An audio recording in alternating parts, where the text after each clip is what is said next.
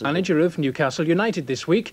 Colin, who's been in charge with first team coach Mick Martin since Willie McFaul was sacked almost a month ago, has been given the job until the end of the season. Tomorrow, Newcastle travel to London to play Queen's Park Rangers. They're always hard, we're away from home.